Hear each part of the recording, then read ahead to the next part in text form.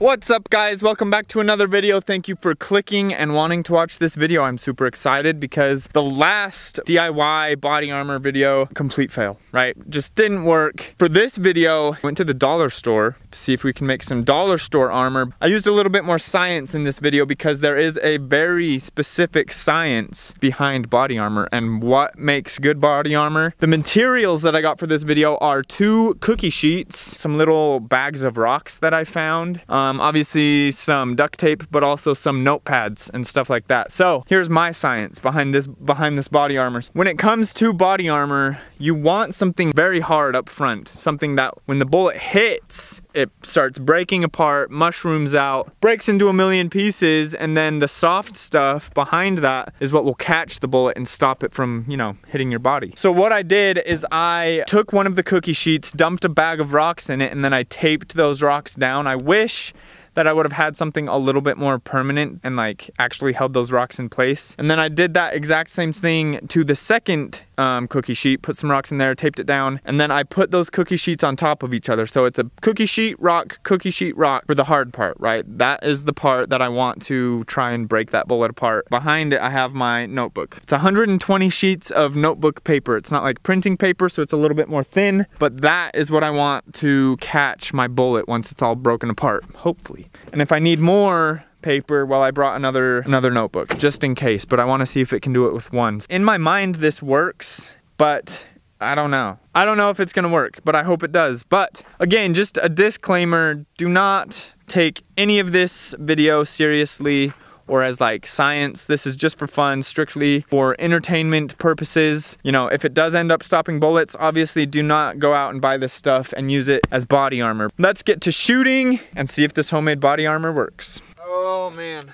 I'm very, honestly, I'm, I'm kind of nervous. Just want it to work. That would be awesome going to be using the 115 grain full metal jacket 9 millimeter advertised at a velocity of about 1200 feet per second. And it's a full metal jacket not a hollow point so it should be fairly good at penetrating which makes me a little bit more nervous right? But here we go!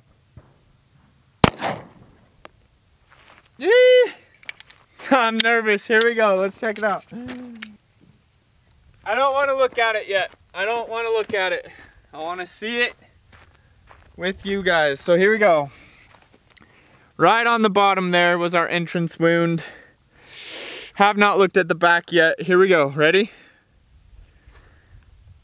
Yeah, yeah. There's nothing on the back there, not even a little bulge. That is what I wanted. So it stops the nine millimeter. Um, what I'm worried about though is like, because those rocks weren't very in place, because they were just kind of taped there, is that kind of more of the rocks have shifted towards the bottom. It doesn't feel like it. It feels like they're still pretty much in place for the most part.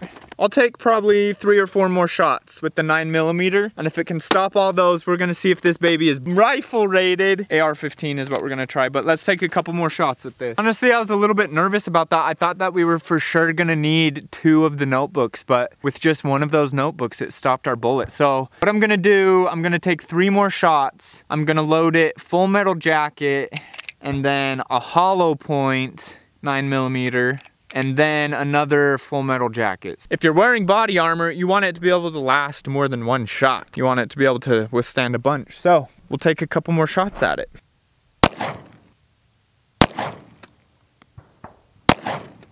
That was three more shots and we are clear.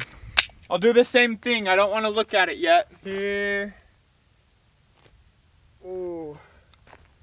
I don't know about this, honestly. I'm kind of a little bit nervous, like I said, because of the rocks. I haven't looked at it. Ready? Ah, oh no. We are definitely penetrating all the way through there. So I think um, we weakened it. As you can see, I kind of shot them all within the same area, which when you shoot it in that area, it kind of um, compromises the area around it. Yeah, so not good at all. But if we get down here and look, the piece of wood that was behind the body armor, the body armor slowed the bullets down enough that the bullets were actually caught in the piece of wood. I mean, it definitely would have hurt, but I think that they were slowing the bullets down quite a bit. What I'm gonna do is I do wanna shoot this with the rifle. What I'm gonna do though is I'm going to tape the other notebook to the back of this for the AR-15, the 223. So let's grab the other notebook and throw it on here, and then I'm gonna shoot this side of the body armor, not this side with the holes, the side that has not been shot and isn't as compromised as the other one. Okay, is our DIY Dollar Tree, Dollar Store body armor rifle rated? Probably not, but we're gonna find out. Here we go, 223 full metal jacket, 55 grain bullet, moving at about 3,200